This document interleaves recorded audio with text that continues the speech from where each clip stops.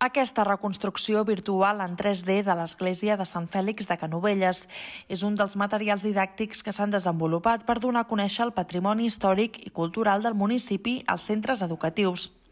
El Servei Municipal de Cultura i el Grup de Recerca de Didàctica del Patrimoni de la Universitat de Barcelona han treballat conjuntament per construir aquest espai didàctic virtual, inclòs a la pàgina web del Centre d'Interpretació de Canovelles i dirigit a la comunitat educativa.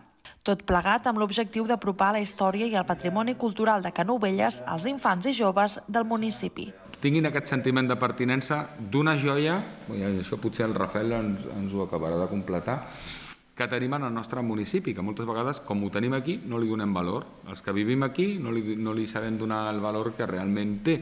Un edifici romànic de primer ordre, sens dubte, però després tenim una excavació, un, un jaciment que és únic a, a Catalunya, és gairebé únic, m'atreviria a dir, a l'estat espanyol i podria arribar a ser una de les peces importants a nivell europeu. A través d'una clau d'accés, el professorat disposarà de quaderns d'exercicis adaptats als diferents cursos educatius, a més d'informació sobre les diverses etapes històriques. També s'ha elaborat la guia del mestre, on es detallen les competències bàsiques i els objectius del projecte.